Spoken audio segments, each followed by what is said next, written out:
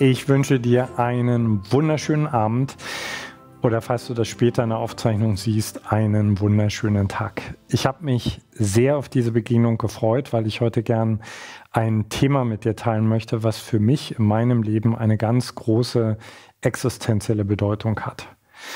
Ich möchte mit dir heute über Krisen sprechen, aber hoffentlich auf eine Art und Weise, die dir Lust macht auf Krisen und äh, wenn vielleicht noch nicht Lust, dich dann auf jeden Fall neugierig macht und äh, dir die Möglichkeit gibt, dich für Krisen zu öffnen. Ihr wisst es, ich sage das ganz häufig auf meinen Vorträgen, eure Lebenszeit ist mir echt kostbar. Das sage ich nicht einfach nur so.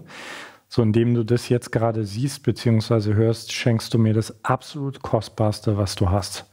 Deine Lebenszeit gepaart mit deiner Aufmerksamkeit. Und deswegen ist es mir wichtig, am Anfang kurz zu erklären, für wen dieses Video sehr wahrscheinlich gut geeignet ist, damit du für dich nochmal in Ruhe schauen kannst, ob du hier verweilen möchtest oder auch nicht. Dieses Video ist dann für dich interessant, wenn du dich gerade mitten in einer fetten Krise befindest. Und das kann eine Krise sein, die sich anfühlt wie eine seelische Krise, eine psychische Krise, vielleicht aber auch eine Beziehungskrise, eine Arbeitskrise, eine körperliche Krise.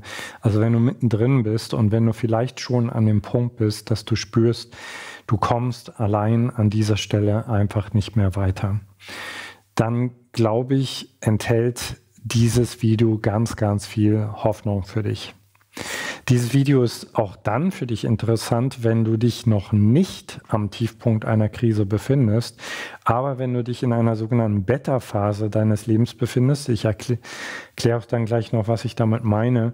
So Beta-Phasen sind Phasen, in denen das, was gerade noch cool war in unserem Leben, langsam abgenutzt ist, zu eng wird und wir merken, dass das Leben uns wieder mal aus der Komfortzone hier rauskicken möchte. Und Beta-Phasen sind oft ätzend, die sind oft unbequem. Wir wissen ganz häufig noch nicht so genau, worum es wirklich geht. Wir wollen es nicht so richtig wahrhaben. Wir kämpfen vielleicht dagegen an. Auch dann hat dieses Video wertvolle Informationen für dich parat. Oder du bist ein Mensch, der sagt, ich, äh, mich, mich berührt es total einfach zu sehen, dass sich in der Menschheit so viele Krisen mittler, mittlerweile ineinander verweben. Also wir sprechen ja mittlerweile von Stapelkrisen. Und du fragst dich, okay, also wie ist das nicht nur ertragbar, sondern wie kannst du vielleicht auch einen echten, aktiven Beitrag dazu leisten, dass wir gut durch diese wirklich extrem heiße und auch heikle Phase der Evolution der Menschheit gelangen. Falls du jemand bist, der gerade so einen richtig geilen Run hat in seinem Leben, so das sind die Phasen, in denen du das Gefühl hast, du hast alles gecheckt, es läuft, es schmiert einfach, du willst dich am besten gar nicht mit Problemen beschäftigen, das kann ich total verstehen. Ich genieße solche Phasen auch.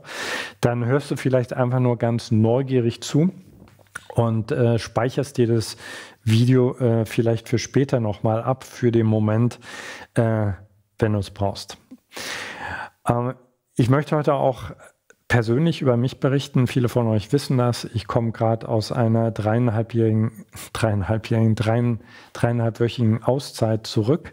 Ich nehme gerade wieder so langsam Fahrt auf möchte die Gelegenheit gern nutzen, um mich bei all den Menschen zu bedanken, die in, diesen, in dieser Zeit auf meine Statements sowohl per E-Mail als auch auf Instagram so aktiv geantwortet haben. Also ich habe, glaube ich, Pi mal Daumen über 2000 Antworten bekommen.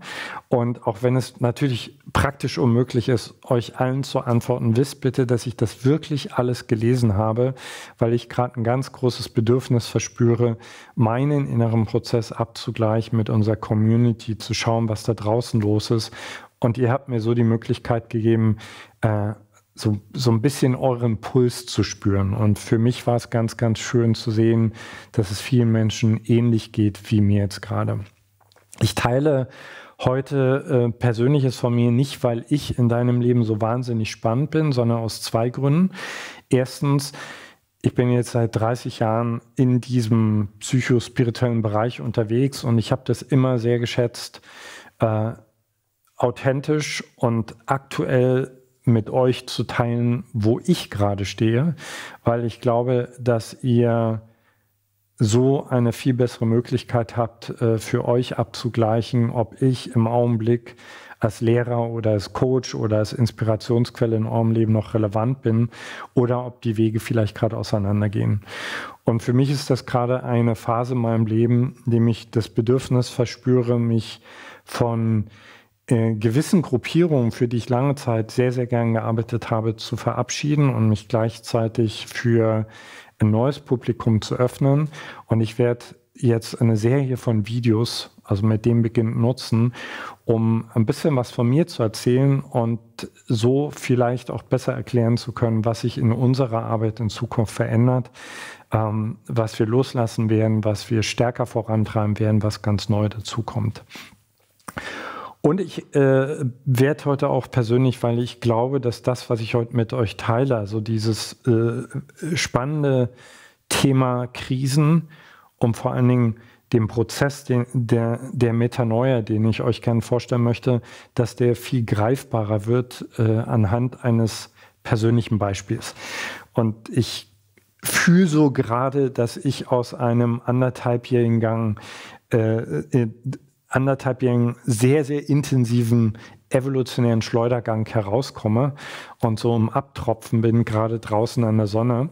Ich bin vorsichtig damit geworden und sehr, sehr demütig äh, zu behaupten, ich bin jetzt durch mit dem Prozess. Das, was wir gerade als fertig erleben, ist ja meist der Anfang von etwas Neuem. Und dennoch habe ich gerade das Gefühl, äh, etwas in mir fühlt sich wie neu geboren an und das möchte ich gern teilen.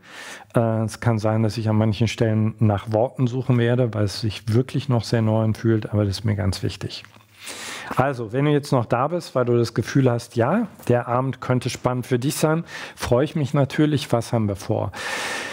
Ähm, ich möchte gerne aus so einer Metaebene über Krisen mit dir sprechen. Das mache ich relativ kurz, aber ich glaube, dass es äh, wertvoll und nützlich ist, weil wir ganz häufig, wenn wir uns in einer Transformationskrise unseres Lebens befinden, so ganz häufig so einen Tunnelblick haben und der fühlt sich manchmal sehr ätzend bis äh, furchterregend an. Deswegen macht es total Sinn, mal ein Stück rauszugehen, um von draußen zu gucken.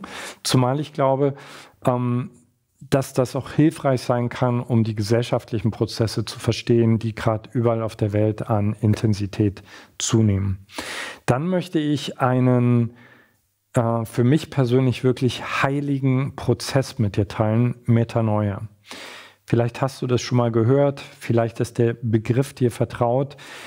Ich äh, stelle immer wieder fest, dass ich manchmal in meiner Arbeit ganz offensichtlich die Aufgabe und Ehre habe, so alte, scheinbar altmodische Begriffe rauszukramen und sie nochmal neu ins Licht zu stellen und uns in unserer aktuellen postmodernen Zeit daran zu erinnern, was für ein unermesslicher Wert zum Beispiel in dem Prozess Metanoia liegt. Ähm, ich werde das garnieren, spicken mit meinen persönlichen Beispielen und am Ende, wenn du dann dabei bist, was ich natürlich hoffe, habe ich für euch eine geführte Meditation mitgebracht, äh, die sich besonders gut eignet, wenn du das Gefühl hast, dass du gerade in deinem Leben vielleicht bereits wieder in so einem Geburtsprozess bist oder du merkst, die ersten Wehen setzen ein. Schön. Ich habe voll Lust. Ich hoffe da auch. Fangen wir an mit einem kleinen ABC zum Thema Krisen und Chaos. Ja, das ist nicht auf meinem Mist gewachsen. Das geht unter anderem auf den Nobelpreisträger Prigogin zurück, der sich sehr, sehr viel mit lebendigen Systemen beschäftigt hat. Also im Gegensatz zu einem, ich sage jetzt mal, zu einer starren Schachtel, bist du ein lebendiges System, was sich unter anderem dadurch auszeichnet, dass permanent Energie in dein System raus, reingeht und permanent Energie rauskommt. Also zum Beispiel Allein diese Begegnung mit mir jetzt gerade gibt Energie in dein System rein, in Form von visuellen, auditiven Reizen, aber natürlich auch an Informationen, an Energie und so weiter. So dein System also permanent in jeder Sekunde Energie auf, verarbeitet die und gibt sie wieder ab. So. Dabei ist dein System von Geburt an immer schon daran interessiert gewesen, ein Gleichgewicht zu wahren die sogenannte Homöostase. So, also wir, wir suchen unbewusst immer nach einer Möglichkeit, dass das, was reinkommt an Energie, sich deckt mit dem, was rauskommt. So. Und wenn die Homöostase in deinem Leben gewahrt ist, das sind so die Momente, in denen du dich stimmig fühlst, in denen du dich sicher fühlst, in denen du dich voller Vertrauen fühlst, in denen du auch das Gefühl hast, das Leben fließt durch dich durch, du bist im Gleichgewicht. Jetzt ist es so, dass diese Homöostase kein starrer Zustand ist, sondern allein im Laufe eines Tages, das weißt du auch von dir, ganz vielen Schwankungen unterliegt. Ja, du stehst auf, bist du in Homöostase, triffst dich mit jemandem, der spricht ein Thema an, was dich triggert, du regst dich total auf, kommst dadurch kurz in Chaos, verarbeitest dann das aber wieder und bist wieder in Homöostase. So von diesen kleinen chaotischen Momenten rede ich heute nicht, sondern ich möchte heute gern über die größeren Chaos-Momente leben. Denn es, der Gegensatz, der Gegenpol von Homöostase ist das Chaos. Und Chaos wird von uns Menschen ganz häufig als bedrohlich empfunden, weil wir in einer Kultur leben, die uns nicht chaosfreundlich erzieht, sondern die uns eigentlich von Beginn an, also von klein auf dazu erzieht, äh, die Dinge eher als starre Systeme zu sehen, die uns auffordert, die Kontrolle zu haben, immer Bescheid zu wissen, etc. Ja? So, ähm, also ganz simpel runtergebrochen, anstatt dass wir lernen, die Welle zu surfen, äh, bringt man uns bei, die Welle möglichst einzufrieren, äh, in einer starren Form und ganz genau Bescheid zu wissen, was die Welle ist, etc. So. Und das führt dazu, dass wir Chaos ganz häufig als Bedrohung erleben. Aber was ist eigentlich Chaos? Ja? So, wenn du eine Phase hast in deinem Leben, wo die Informationen, die reinkommen, und mit äh, nochmal Informationen, die reinkommen, das können andere Menschen sein, das können Weltereignisse sein, äh, das kann zum Beispiel äh, dein Partner sein, der sich verändert, das kann aber auch zum Beispiel eine Krankheit sein äh, oder das können Informationen von deiner Seele sein, die da reinkommen und dein System im gegenwärtigen Zustand gibt es nicht her, das zu verarbeiten. Ja? Dann kommt dein System erstmal unter Stress und nach einer Weile bricht Chaos aus. Also Chaos ist simpel Überlastung. Ja? So. Was ganz wichtig ist zu verstehen, ist, dass Evolution niemals nur aus Homöostase bestanden hat, sondern immer auch aus Chaos. Also wir brauchen beides. Okay? So. Was jetzt passiert in den Phasen von Chaos, und wir gehen jetzt gleich nochmal näher auf die einzelnen Phasen ein, ist, dass das System so sehr an, an den Grenzpunkt seiner Verarbeitungsfähigkeit kommt, an den sogenannten Bifokationspunkt, auf gut Deutsch gesagt, äh, eine Weggabelung, ja, der das System jetzt, also du, in dem Fall zwei Möglichkeiten hast. Die eine Möglichkeit ist, du regredierst, das heißt, du fällst auf eine niedrigere Ordnung zurück. Ich bringe ein paar Beispiele. Also stell dir vor, du bist befördert worden in deinem Job und dieser Job ist komplexer. Ja, der ist schwieriger, der ist mit mehr Verantwortung verbunden und du gibst dir total Mühe, aber du kommst an deine Belastungsobergrenze und du schaffst es nicht, diesen Sprung, diesen Entwicklungssprung und du triffst die Entscheidung, wieder in den alten Job zurückzukehren. So viele von uns erfahren das als eine Niederlage, aber ich möchte gern betonen, dass es manchmal total okay und auch gesund ist, zu regredieren. Ja? Ein anderes Beispiel. Äh, du verliebst dich, du kommst in eine Beziehung, ihr habt eine Beziehung, also ihr seid ein relativ komplexes System und irgendwann kommt die Beziehung an den Punkt, wo sie fast dabei ist, auseinanderzugehen. So zum Beispiel in den anderthalb Jahren äh, in denen ich jetzt gerade in meinem persönlichen Schleudergang war, hatten Andrea und ich im Punkt vor circa einem Jahr, da waren wir beide bereit auseinanderzugehen, weil wir nicht mehr wirklich gesehen haben, wie es möglich sein kann, dass wir als Beziehung zusammen weitergehen. Äh, ich kann dich beruhigen, falls du uns als Paar kennst, wir, wir sind inniglicher äh, denn je zusammen. Wir sind mega verliebt gerade und wir haben beide das Gefühl, dass unsere Beziehung auf ein neues Level gegangen ist. Darüber berichte ich in einem anderen Video. Also du bist aber in eine Beziehung kommst du dann, wenn wir bei dem Beispiel bleiben, du kommst an diesen Bifurkationspunkt und es ist nicht immer gegeben, dass die Beziehung auf ein neues Level geht, sondern manchmal geht dann auch eine Beziehung auseinander, hast du bestimmt schon mal erfahren und das heißt, du gehst auf eine einfachere Systemform zurück, also von Beziehung auf Single-Dasein. Regression, ja. Ähm, Warum ich, äh, warum ich dieses Wissen gerade in der heutigen Zeit so faszinierend finde, ist, weil wir auch gesellschaftlich an ganz, ganz vielen Bifurkationspunkten stehen.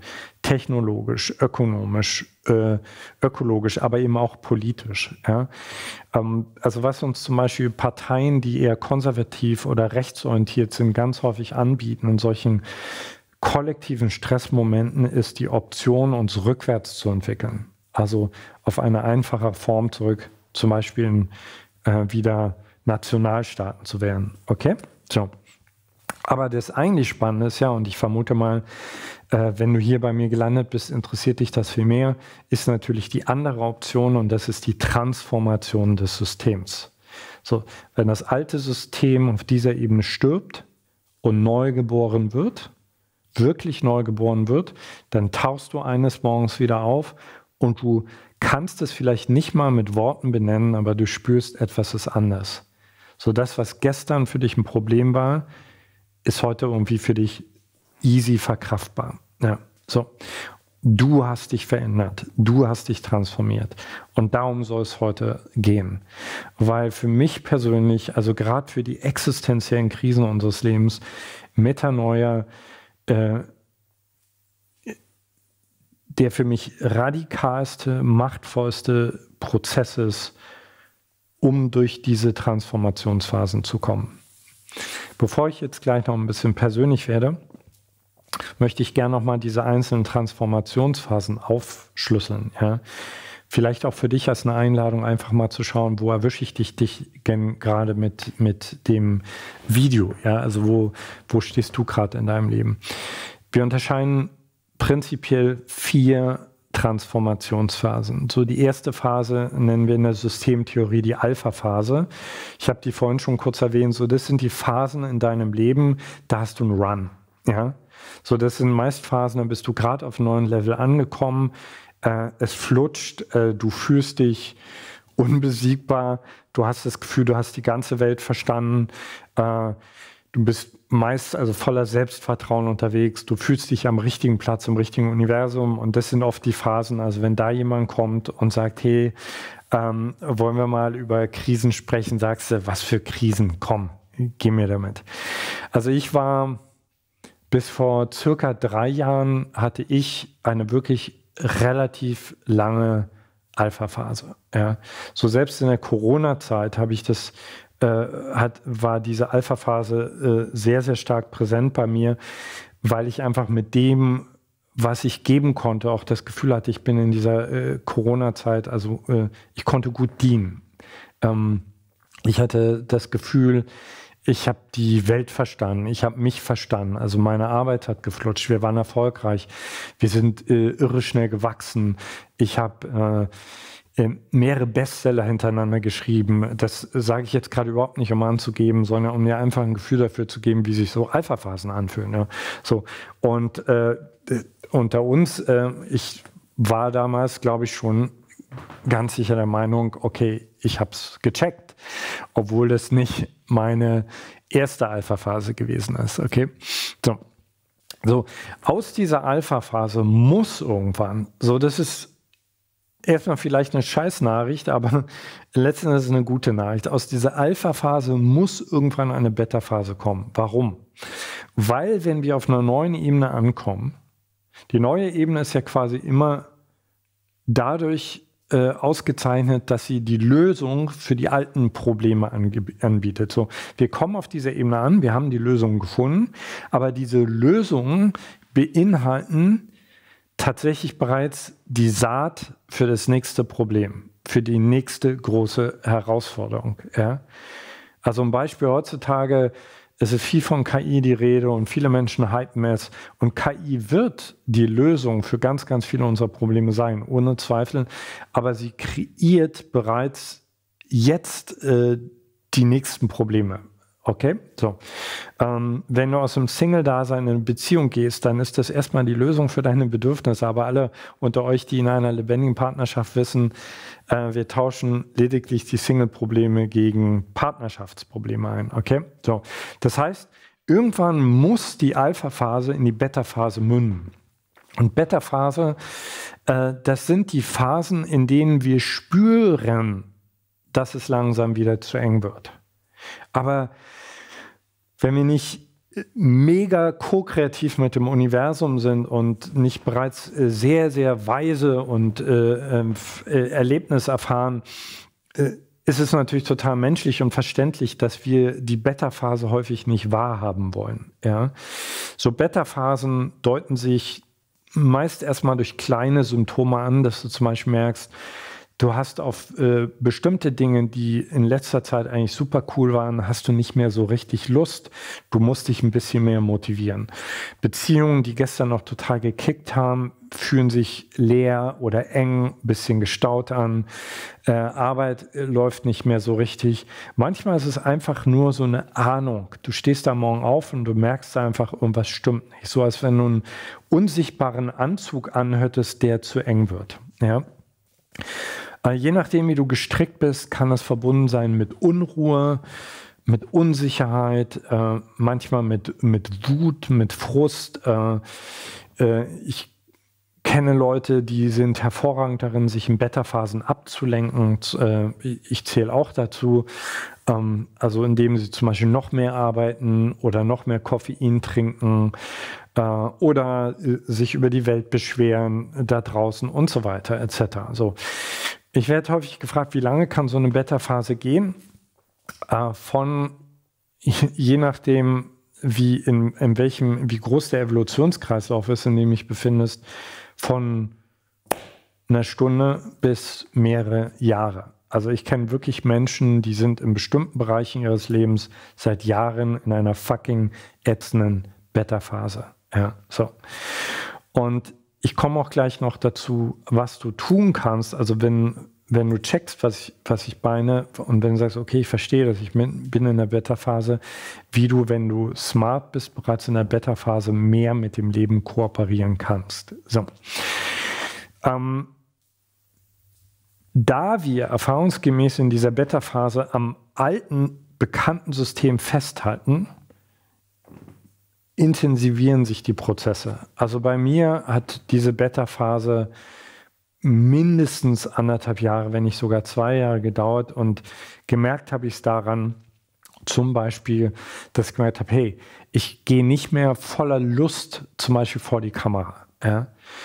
Und das war für mich eine krasse Erfahrung, weil ich liebe die Themen. Ja, ich liebe die Themen, über die ich berichte, unterrichte. Und zu merken, die Lust geht verloren und äh, ich muss mich mehr motivieren. Das hat eine Weile gebraucht, bis es bei mir angekommen ist, dass ich gemerkt habe, hey, ich bin jetzt genau an dem Punkt, bei dem ich meinen Klienten sage, hey, jetzt müsst ihr aufpassen. So. Ähm, bei mir hat es sich auch also wenn, wenn das Leben merkt, du spielst nicht richtig mit, du hörst nicht so richtig auf die Zeichen, dann kommen, werden die Einschläge, kommen die einfach näher. Ja, und häufig benutzt das Leben auch externe Faktoren. Also bei mir war es zum Beispiel so, dass äh, bestimmte sehr, sehr wichtige große Projekte plötzlich einfach äh, ich bin einfach nicht vorangekommen, sondern äh, es war zäh, ich bin auf Widerstand gestoßen, manche sind zusammengebrochen, äh, wir haben mit Betrug zu tun gehabt, mit äh, äh, unintegren Geschäftspartnern. Also rückwirkend kann ich total sehen, dass die Einschläge immer näher kamen. Und ich bin jetzt nicht so ein Typ, der sagt, das Universum dreht sich um jeden von uns. Aber ich glaube schon, dass diese Phasen in deinem Leben, wenn du merkst, es wird zäher, Phasen sind, äh, die dich darauf hinweisen, dass es Zeit ist, dein altes Ich in Frage zu stellen. Und nochmal, es ist total verständlich, dass wir darauf keinen Bock haben, weil dieses alte Ich hat uns ja bis hierher gebracht und bis vorgestern hat es ja auch noch richtig gut funktioniert. Ja, so. Und deswegen kommt dann meist, was kommen muss, nämlich die Einschläge kommen immer näher. Bei mir war das dann also letzten Endes ein einer perfekter Sturm, äh, ausgelöst durch Also ich bin wirklich zum allerersten Mal im Leben in einen echten Burnout geraten, also mit äh, körperlichen Ausfallerscheinungen, die wirklich gruselig waren. Ich glaube, dass ich seitdem, also das ist ungefähr äh, reichlich anderthalb Jahre her, zum ersten Mal eine wirkliche Ahnung davon habe, wie sich Menschen fühlen, die depressiv sind. Ich habe seitdem großen, großen Respekt vor diesem Gemütszustand. Ähm, es kamen ein paar ganz, ganz dolle Enttäuschungen auf der beruflichen, privaten Ebene dazu. Und ich werde euch gar nicht alles aufzählen. Aber jedenfalls äh, bin ich dann relativ schnell in der sogenannten Gamma-Phase gelandet. So die Gamma-Phase, das ist der Punkt, wenn, wenn das Chaos ausbricht. Ja? Äh, wenn die Beziehung plötzlich zusammenbricht, wenn dein Körper nicht mehr kann, äh, wenn äh, gesellschaftlich plötzlich krasse Sachen passieren, also wirklich krasse Sachen passieren. Ja. Ähm, wenn, wenn du einen Zusammenbruch hast, so, das sind Gamma-Phasen. So. Also in Gamma-Phasen sind wir wirklich im Chaos und wir sind an diesem Bifokationspunkt. So. Und bevor ich auf, die, äh, auf die, den guten Ausgang zu sprechen komme, möchte ich gern mit dir teilen, also das ist mein Hauptthema heute, ähm, was mir den Arsch gerettet hat und äh, mein Herz gerettet hat und meinen Geist gerettet hat und auch meine so, so kostbare Liebesbeziehung gerettet hat. Metanoia. Ähm, wenn du den Begriff noch nie gehört hast, ganz kurz zum Hintergrund. Metanoia ist ein sehr, sehr alter Begriff, der geht auf, auf das Griechische zurück und bedeutet übersetzt so viel wie ähm, anders denken. Ja, also Meta ist eigentlich wirklich rausgehen von oben drauf schon und neu ist das Denken. So im, in der Kernidee ist Metanoia ein tief tiefgreifender, ähm, dich auf die Knie bringender, deine Demut enorm fördernder Prozess, in dem dein altes Ich stirbt und etwas Neues geboren werden kann. Metanoia ist älter als das Christentum. Das betone ich deswegen, weil leider die christliche Kirche aus diesem aus meiner Sicht so unglaublich schönen und wertvollen Umkehr und äh, Erweckungs- und Transformationsprozess ähm, etwas gemacht hat, was sehr viel mit Schuld und mit äh, Buße verbunden ist. Also ähm, die Kirche hat daraus äh, ein, einen Prozess gemacht, in dem der, der Mensch, weil er dumm ist oder weil er versucht ist, die Sünde begeht und dafür Buße tun muss. Aber diese Buße ist kein wirklich äh, freudvoller Hingebungsprozess mehr, sondern in, in, der, in, in der konservativen, äh, besonders in der katholischen Kirche, ist es äh, ein Prozess, äh, ja, man könnte sagen, der, der Bestrafung. So. Aber das ist es im Kern nicht. Und deswegen ist es mir so wichtig, diese, diese Begriffe wieder hochzuholen und mit euch zu teilen. Weil ähm, auch Buße bedeutet nicht, dich äh, zu kasteien, weil du etwas falsch gemacht hast, sondern Buße kommt von es besser machen und bedeutet im Kern letztendlich fuck, ich habe meinen Weg verloren, ich habe den Pfad meines Herzens verloren und ich tue Buße, indem ich auf diesen Pfad zurückkehre. Und auch das Wort Sünde, was so schuldbelastet ist in der Kirche, bedeutet eigentlich, also das Ursprungswort kommt aus dem Griechischen und bedeutet der Abstand vom Ziel. Also Sünde ist, äh, ist der Abstand, dem wir das Ziel verfehlt haben. Ja. Und Metanoia, also um Metanoia zu verstehen, ist es, glaube ich, hilfreich zu verstehen, dass, ähm, oder mal anzunehmen, von dem Punkt zu kommen, dass du nicht nur dein Ego, deine kleine Persönlichkeit bist, sondern dass du auch eine freie Seele bist. Ähm,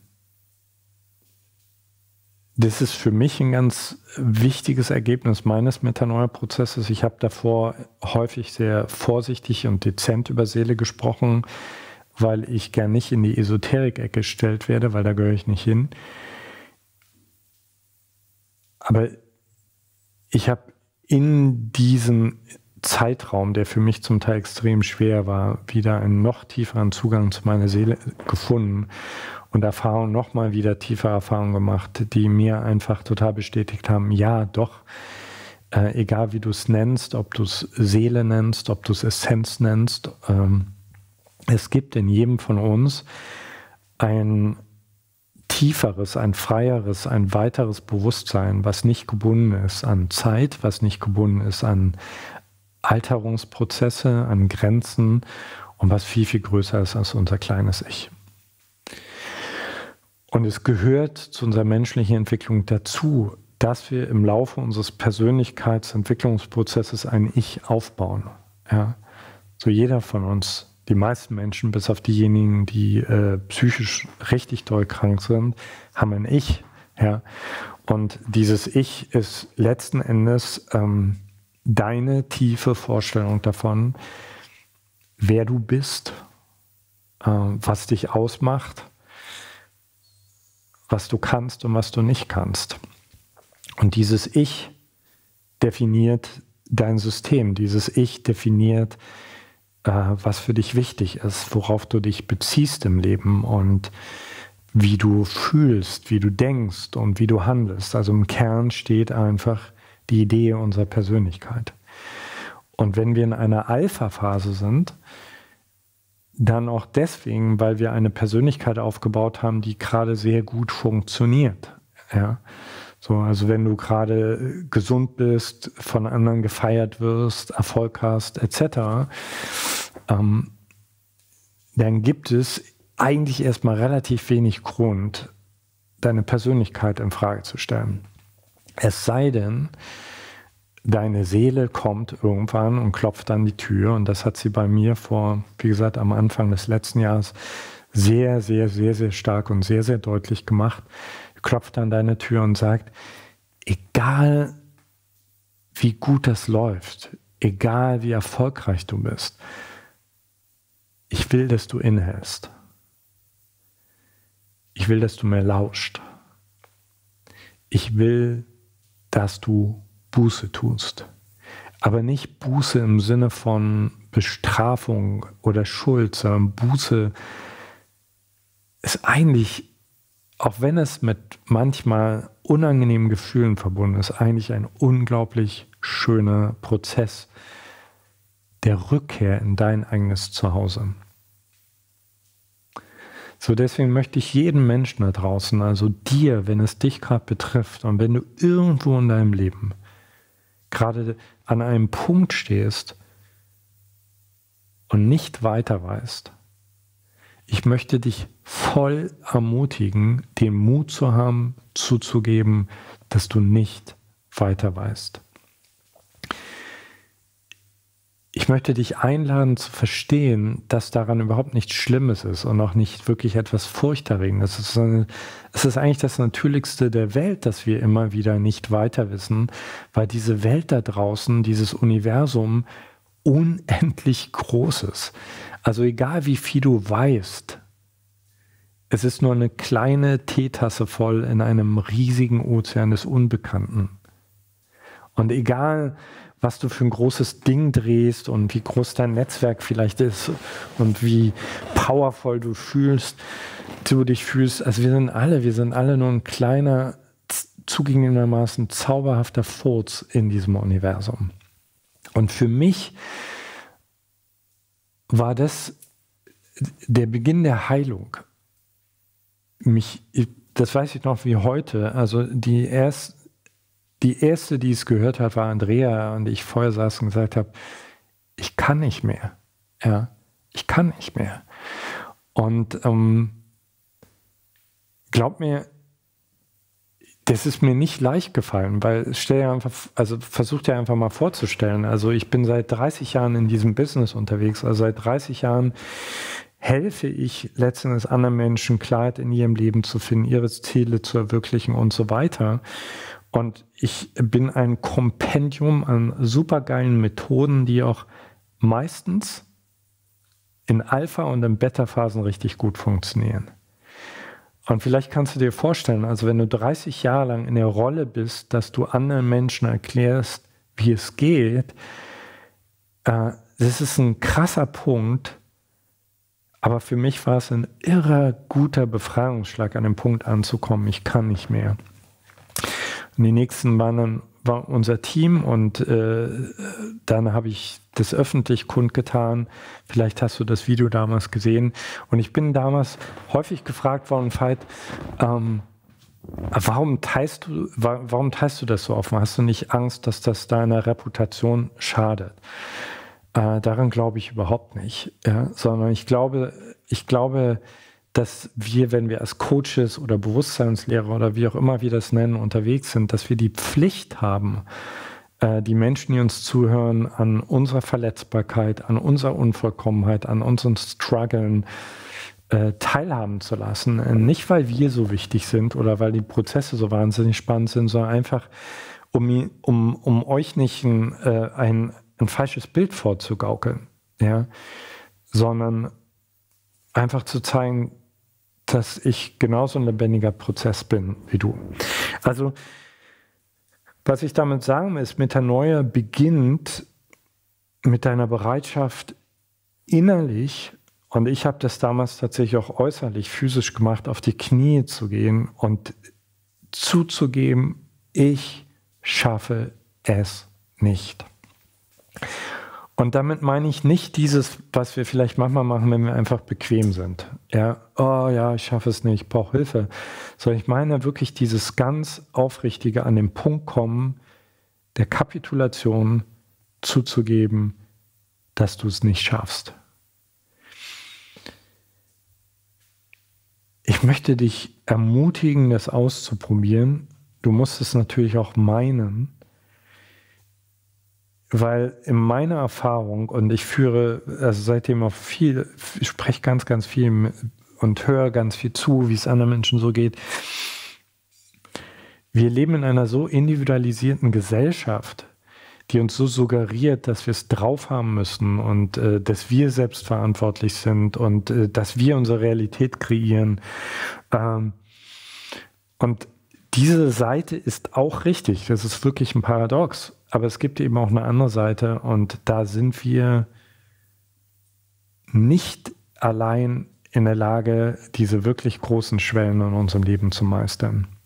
Und um diese größere Kraft einzuladen, und du musst dafür nicht an Gott glauben, Du kannst doch einfach, du kannst doch einfach sagen, diese Kraft, die den, diesen ganzen Kosmos mit all seinen Sternen und Planeten und Pflanzen und Delfinen und Walen und Adlern und uns erschaffen hat, äh, diese Kraft pulsiert ja in jeder unserer Zelle und du kannst diese Kraft anrufen und kannst einfach sagen, ich brauche wirklich Hilfe. Ja, so.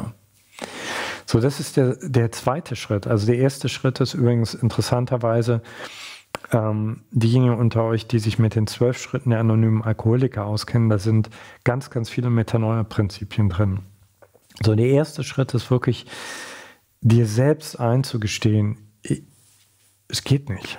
Ja? Ich weiß einfach nicht weiter. Auf die Knie zu gehen. Ja? Und der zweite Schritt ist, um Hilfe zu bitten. Und an der Stelle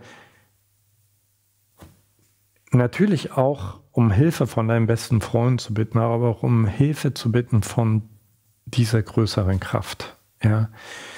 So, ich bin nicht religiös und ich glaube nicht an Gott mit dem weißen Ra Ra Rauschebarsch, Bart, aber ich habe in meinem Leben einfach einige Erfahrungen gemacht, die mir so jenseits von jedem Zweifel gezeigt haben, dass es eine ultra intelligente, bedingungslos liebende Quelle dieses Universum gibt.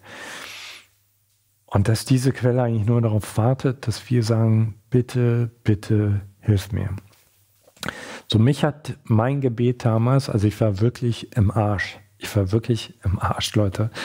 Ich war so im Arsch, dass ich äh, mich manchmal dabei ertappt habe, dass ich stundenlang einfach gegen eine Wand geschaut habe und nicht mal mitgekriegt habe, dass ich nur gegen eine Wand schaue.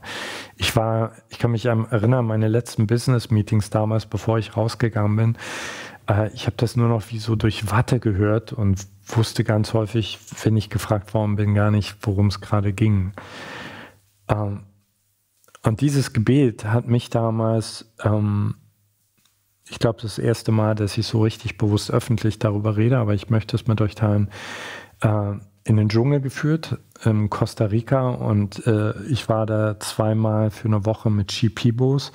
Sind, das ist ein indigener Stamm, der in Peru lebt und der das Geheimnis und die Rituale um Ayahuasca hütet.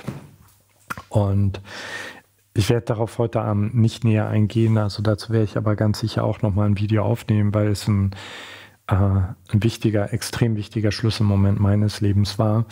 Und ich glaube, dass es wichtig ist, den zu teilen. Was ich heute eigentlich nur sagen will, ist, ähm, dass in diesen Ritualen bei den Shipibos diese größere Kraft, die ich angerufen habe, gekommen ist. Und wie das so ist mit Gebeten, sie kommt selten so, wie wir das wollen, sondern sie kommt immer so, wie wir das brauchen. Und sie hat mich auf eine sehr, sehr liebevolle, aber unglaublich konsequente Art und Weise auseinandergenommen. Und äh, sie hat mich im wahrsten Sinne des Wortes äh, gelehrt was meine Sünden sind. Also ich musste mir sehr, sehr ausführlich anschauen. Auch darüber werde ich nochmal ausführlich sprechen, wo und wie ich in meinem Leben von meinem Vater abgekommen bin. Und das sind manchmal, weißt du, das sind manchmal nicht irgendwelche Riesendinge. Äh, manchmal sind das Kleinigkeiten. Aber manchmal sind es auch große Sachen. Also mir ist zum Beispiel da gezeigt worden, also wie ich einfach dieses Geschenk der reinen Liebe in der Beziehung mit Andrea an manchen Stellen verraten habe. Oder äh, mir ist gnadenlos und sehr konkret gezeigt worden, wo ich als Lehrer, als Bewusstseinslehrer einfach, äh, weil ich selbst nicht genug vertraut habe und weil ich Dinge erzwingen wollte, also mit, mit persönlicher Power reingegangen bin, anstatt mich dieser größeren Kraft anzuvertrauen. Also ich bin komplett auseinandergenommen worden. Ich war danach äh, noch weniger in der Lage, sofort zurückzugehen in meinen Alltag, sondern ich hatte das Gefühl, ich bin ein Puzzle auseinandergelegt. Ich habe seitdem ein grundlegend nochmal anderes Verständnis davon, was Spiritualität ist, äh, weil ich mit Dimensionen konfrontiert worden bin, die ich wirklich neu für mich waren und die ich immer noch dabei bin am Verarbeiten. Äh, und was danach passiert ist, und äh, das ist ein wichtiger Teil von Metanoia und auch äh, zu dem möchte ich dich gerne ermutigen. Hm, oder nochmal ganz kurz zurück, auch wenn das jetzt vielleicht ein bisschen spektakulär klingt mit dem Dschungel und Chipibus etc., ich glaube, dass das überhaupt nicht so spektakulär sein muss. Wichtig ist einfach nur, äh, dass du um Unterstützung und Führung dieser Kraft, dieser größeren Intelligenz bittest und dann darauf vertraust, dass sie dich genau in die Umstände führt, in, in denen sie dich am besten lehren kann. Ja. Und ich bin hundertprozentig überzeugt davon, das kann auch zu Hause im Garten beim Beete umgraben passieren. Ja. Und ich möchte gerne nochmal betonen, ich glaube zutiefst daran, dass es auch für rational und wissenschaftlich orientierte Menschen absolut okay und möglich ist, äh, diese größere Kraft des Lebens anzurufen. Ja, also du kannst ja zum Beispiel einfach sagen, die Kraft der Evolution. So, und der nächste Schritt, der im Metanoia-Prozess sehr, sehr, sehr, sehr, sehr, sehr wichtig ist, dass du die Rechenschaft über dein Leben ablegst. Also bei mir sah das so aus, dass ich in diesen letzten anderthalb Jahren unglaublich viel geschrieben habe. Äh, ich habe mich coachen lassen, ich habe Biografiearbeit geleistet und das war zum Teil ähm, ein, es war ein sehr, sehr befreiender Prozess und gleichzeitig manchmal aber auch mit Scham verbunden, weil, ähm, weil ich ganz viel Schattenarbeit leisten musste. Ja, also weil ich mir als jemand, der viel im Mittelpunkt gestanden hat, viel auf der Bühne gestanden hat, viel anderen Menschen erklärt hat, wie es es einfach anschauen musste, an wie vielen Stellen ich klein und unvollkommen bin und äh, mir anschauen musste, durfte, wie bestimmte Ereignisse in meiner Kindheit beeinflusst haben, warum mir bestimmte Themen in meiner Arbeit zum Beispiel so wichtig sind, warum ich äh, auch extrem viel Wert darauf gelegt habe, äh, äh, mich mega anzustrengen, äh, für meine Leute immer die Extrameile zu gehen, anerkannt zu werden und so weiter. Es ist nicht das erste Mal, dass ich diese Art von therapeutischer Arbeit mache. Also das habe ich auch schon vor 20 Jahren gemacht, aber das war jetzt so wie nochmal auf einen neuen Kreislauf. Und äh, alle da draußen, die selbst in der Position sind, äh, in der du oft anderen Menschen erklärst, wo es lang geht. Vielleicht bist du als Lehrerin tätig, äh, als Guru, als Psychotherapeut oder was auch immer. Äh, also wenn, wenn du es in deinem Leben noch nicht hast, möchte ich dich von Herzen einladen, das in dein Leben zu holen, auch wenn du gerade nicht in der Krise bist. Also eine Möglichkeit zu finden mit jemandem, der äh, wach ist, der scharfsinnig ist, der liebevoll ist, der sich äh, nicht beeindrucken lässt von den Rollen, die du in deinem Leben hast, äh, der dich aber challenged und der dich konfrontiert mit deiner Menschlichkeit und mit deinem Schatten.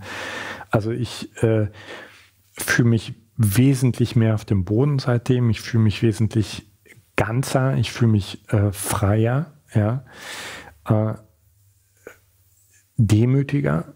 Aber es ist halt nicht so eine Demut, die klein macht, sondern eine Demut, die einfach entspannt. Genau.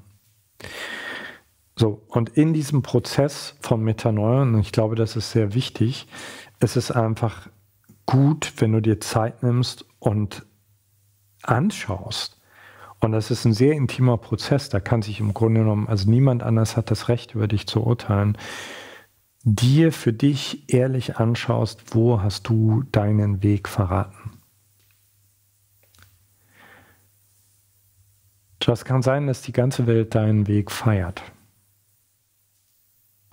Aber du weißt, du hast ihn verraten. So, ich kann zum Beispiel rückwirkend sehr genau sehen, an welchen Stellen ich Dinge gemacht habe, Projekte eingegangen bin, nicht weil wirklich mein Herz ja dazu gesagt hat, sondern zum Beispiel aus meinem Bedürfnis heraus, mit meiner Arbeit in den Mainstream zu kommen. Ja. Ähm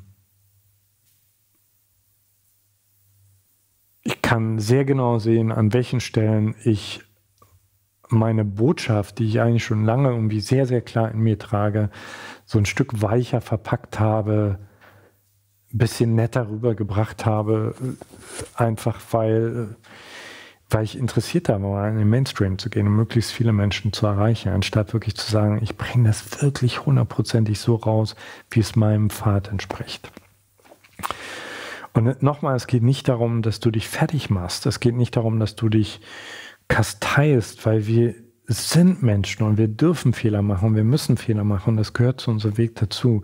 Aber es geht darum, dass du innerlich dir gegenüber eine Beichte, eine Beichte eingehst und sagst, mein geliebtes Herz, meine geliebte Seele, hier an dieser Stelle habe ich mich verraten und ich komme jetzt wieder zurück.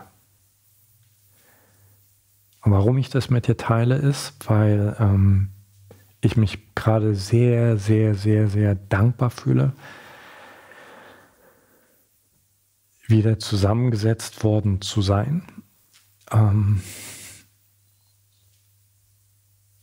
dass mir Dinge aus der Hand genommen worden sind, äh, dass ich auf eine coole Art und Weise, auf eine wirklich gute Art und Weise auf die Knie gezwungen worden bin. Und weil ich glaube, dass es ganz, ganz, ganz vielen Menschen gerade so geht, dass wir, wir sind ja nicht doof, wir sind ja alle zarte, empfindsame Wesen, dass wir eigentlich spüren, dass wir an verschiedenen Stellen von unserem Pfad abgekommen sind. Ähm, ich nehme mal nur ein Beispiel, was mich gerade so beschäftigt, ist, äh, mir geht gerade so die Art und Weise, wie die, wie die Mehrheit von uns Social Media betreibt, die geht mir gerade voll auf die Ketten, weil ich das als so unnatürlich empfinde. Und wann immer ich das anspreche, sagen eigentlich die meisten Menschen, hey, du hast voll recht, ich merke das auch, das stimmt nicht. Aber ich denke halt, ich muss mitmachen, weil ich muss die Algorithmen bedienen. Verstehst du, was ich meine? Oder in deiner Beziehung.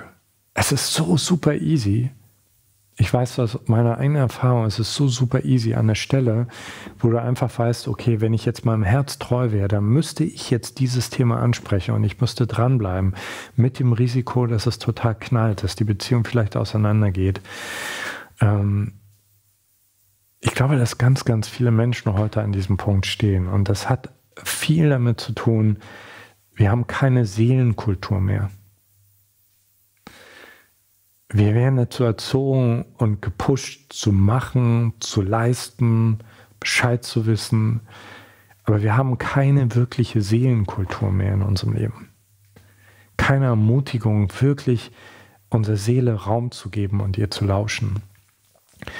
Und dann kommt noch dazu, dass unser Leben ist so fucking schnell geworden, Leute. Also eine kleine Vorwarnung an alle, die mir weiterfolgen wollen. Ich habe keinen Bock auf ich habe keinen Bock mehr, mich dieser Dynamik zu unterwerfen. Also diesen, oh, die Videos müssen schneller werden und es muss mal kürzer werden. Ich möchte mehr Raum nehmen.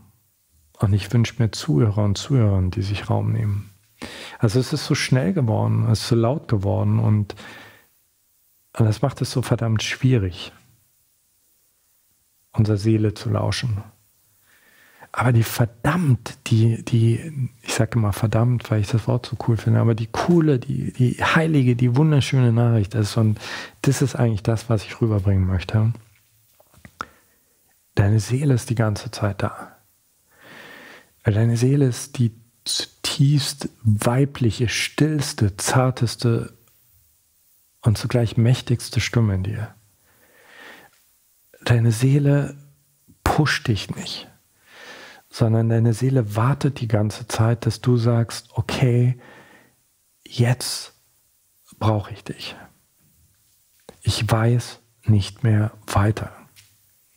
Ich lege mein altes Ich auf den Altar.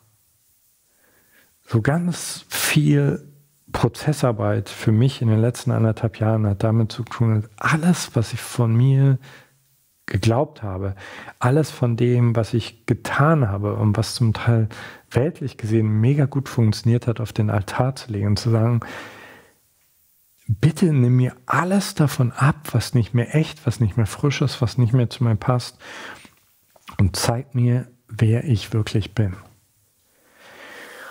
Und deine Seele wird zu dir sprechen.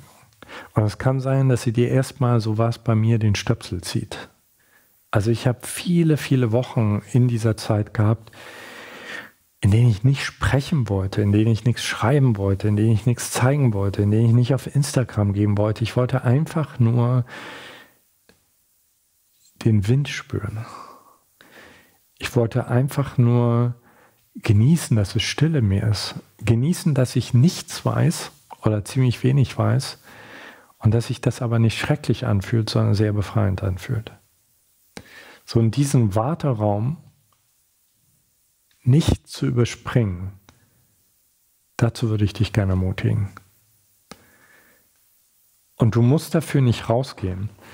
Natürlich ist es optimal, ja, wenn du die Möglichkeit hast, mal wirklich voll aus deinem System rauszugehen. Aber ich glaube, dass es auch möglich ist, wenn du zum Beispiel sagst, okay, ich merke, ich bin in so einer Phase, in so einer Beta oder vielleicht sogar Gamma-Phase ich nehme mir jeden Tag einmal Zeit. Ich gehe jeden Tag einmal innerlich auf die Knie. Ich lege mein kleines, von allem getrenntes, rechthaberisches Ego, ich lege es ab und ich bitte diese größere Kraft, die Seele, die Liebe, das Universum, wie auch immer du das nennst, ich bitte sie, mich zu nehmen,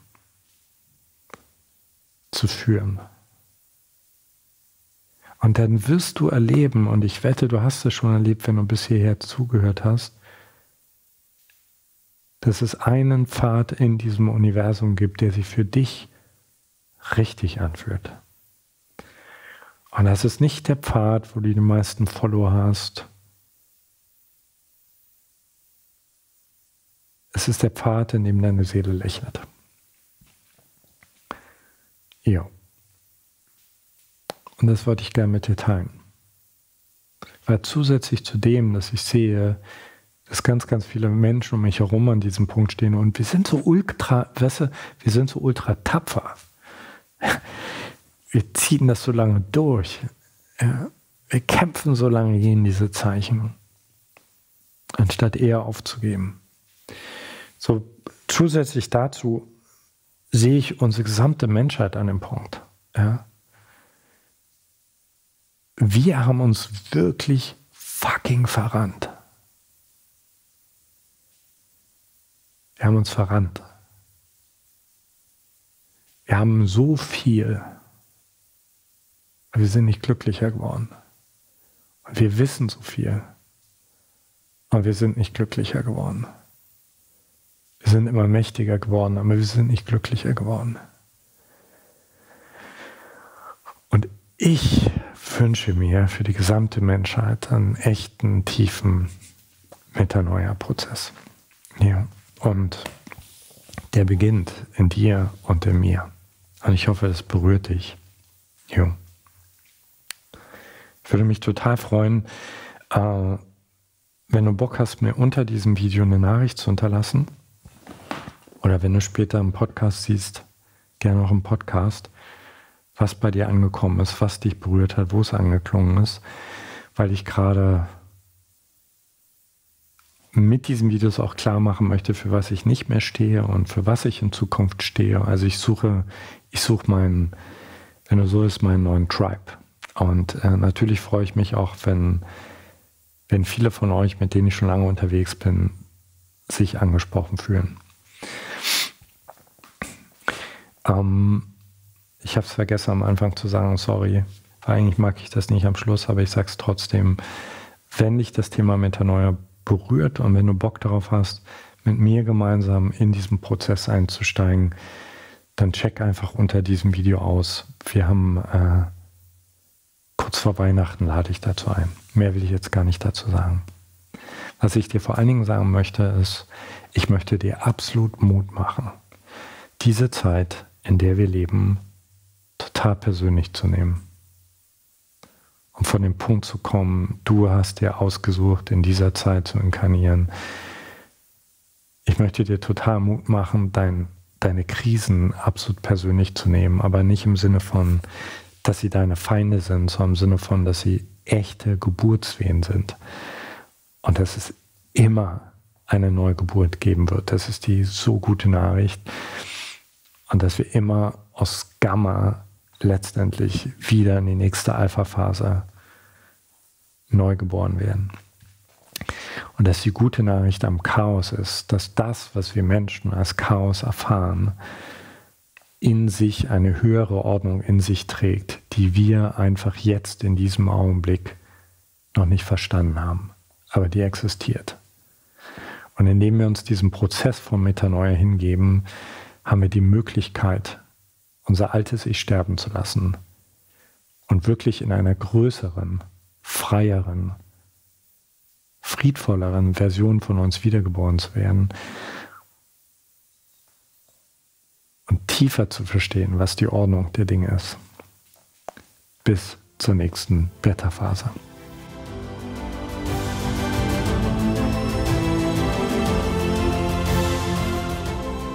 Das war eine Folge aus dem Podcast Seelengevögelt für die Rebellen des Geistes. Hat dir die Folge gefallen? Wenn ja, freuen wir uns sehr über deine Bewertung. Außerdem kannst du den Podcast abonnieren und bleibst so immer auf dem Laufenden. Wir danken dir für dein Zuhören. Es ist schön, dass du da bist.